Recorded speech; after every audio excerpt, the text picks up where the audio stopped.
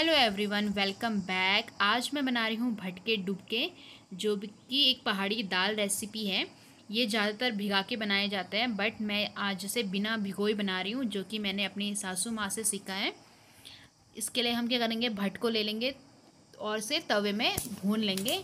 और ये जो फट फट की आवाज़ आ रही है, इसका मतलब हमारे भट भून गए हैं। ये गिरे ना करके इसलिए मैंने ऊपर से छन्नी रख दी है। ये देखिए, हमारे भट भुन के रेडी हैं। ये बीच से फट गए हैं। इसका मतलब हमारे भट अच्छे से भुन गए। अब मैं इसे मिक्सी में बारीक पीस लूँगी। इस तरीके से ये देखिए, जितना बारीक पीसेंगे, उतना अच्छा टेस्टी बनता है। अब मैं यहाँ पे ले रही हूँ एक कढ़ाई में थोड़ा सा ऑयल उसमें डाल दिया जीरा, हींग और जखिया के बीज। इसमें लहसुन का तड़का भी बहुत टेस्टी लगता है बट मेरे पास अभी लहसुन नहीं है। आपके पास होगा तो ज़रूर डालना। फिर जो हमने ये भट भून के रखे थे, इसको हम तेल में फ्राई कर लेंगे मतलब भून लेंगे। इसके बाद हम डाल देंगे इसमें आटा साथ में ही। आटा डालने से क्या होगा, इससे एक थोड़ा बेस मिल जाएगा और थोड़ा थिक सा भी बनता है मतलब गाढ़ा गाढ़ा सा बनता है।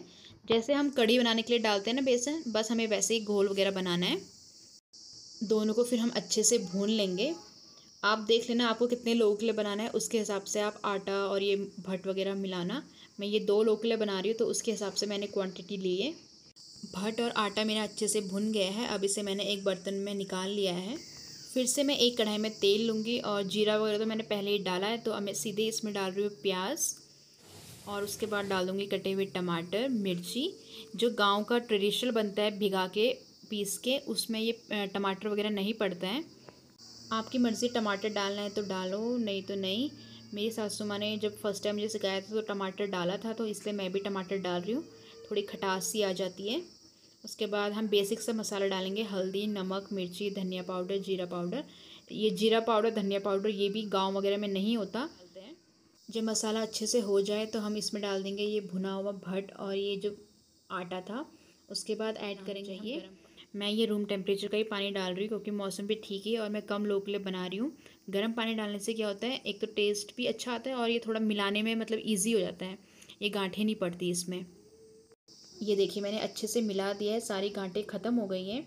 बोलते हैं डुबके को जितना पकाओ, उतना अच्छा टेस्ट आता है। गाँव में तो घंटों घंटों के लिए चूल्हे में पकाते हैं बट यहाँ तो इतने देर तक नहीं पकाऊँगी मैं, क्योंकि मैं कम क्वान्टिटी में ही बना रही हूँ। फिर भी पंद्रह बीस मिनट तो मैं इसे अच्छे से पकाऊँगी। बस अब इसे ऐसे छोड़ देती हूँ पकने के लिए। ये देखिए हमारा पहाड़ी स्पेशल लंच बन के रेडी है भटके डुबके और चावल। पहले मैं भटके जब भी खाए थे तो वो सब भिगो के बनाते थे बट जब ये सासू माँ से ये वाला तरीका सीखा तब से मैं भट खाती हूँ। तो जो लोग भी मेरी तरह भटके डुबके नहीं खाते, वो इस तरीके से बिना भिगोए भून के बनाना आप लोगों को बहुत टेस्टी लगेंगे। ये वाले सच में बहुत टेस्टी होते हैं। तो आपको मेरी रेसिपी कैसी लगी, अच्छी लगी हो तो please like, share and comment. Bye.